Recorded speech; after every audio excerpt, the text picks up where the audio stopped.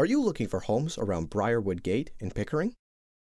Welcome to our interactive map, which is updated daily. If you're interested in receiving newly listed properties, click here on Just Listed, and you can receive listings based on your criteria.